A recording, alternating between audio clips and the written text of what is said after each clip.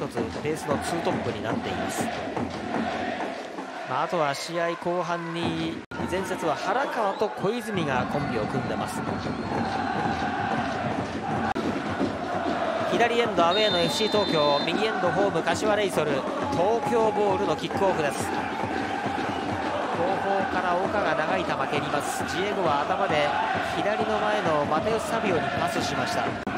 さあ FC 東京は右の白井で起点を作ります。安西が追いついた、うん、ディエゴ・オリベイラ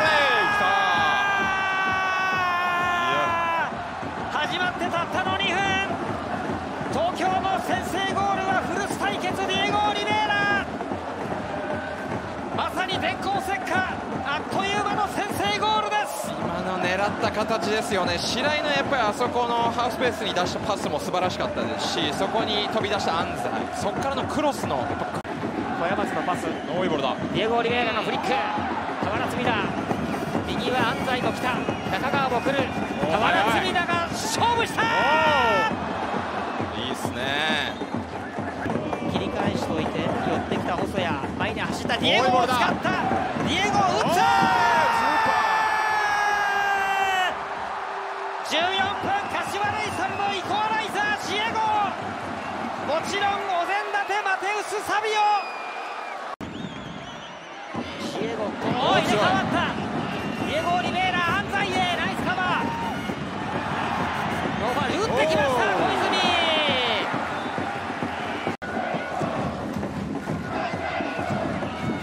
低い球を飛ばしたジエゴ・オリベイラこぼれ球はどうかな小泉しのぎました柏レイソル。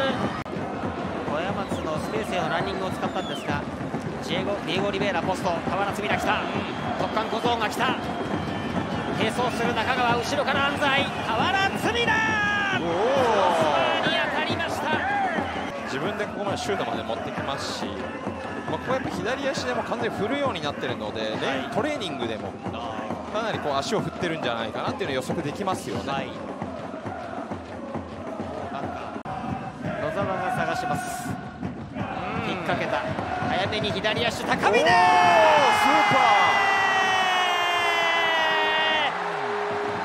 ー。ミスを逃しませんでした柏レイソル。中盤3列目から高見で縦入れます。安西と白井、うん、柏ボールです追加はプラス4これで清水主審が前半終了の笛を吹きました。見えますけどそこまでのやっぱ構造のチームの作り方ですよね、はい、さあ後方から野田が長い球を入れて後半が始まりました。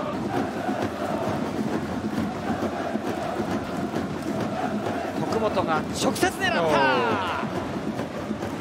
右の上を狙ってきました徳本マテウス・サビオ木下左足！枠を捉えました。野沢がしのいでこれは。サビオいいプレーしましたね。ですね、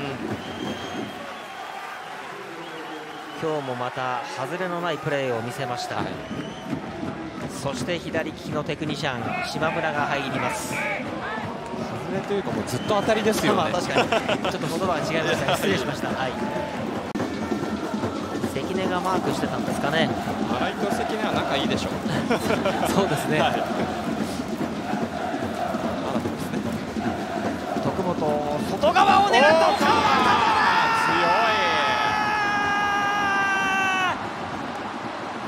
強い FC 東京同点のヘッダー新加入の岡見事なヘディングでした。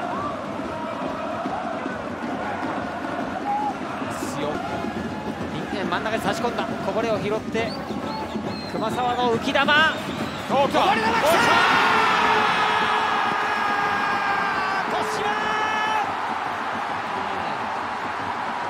94分。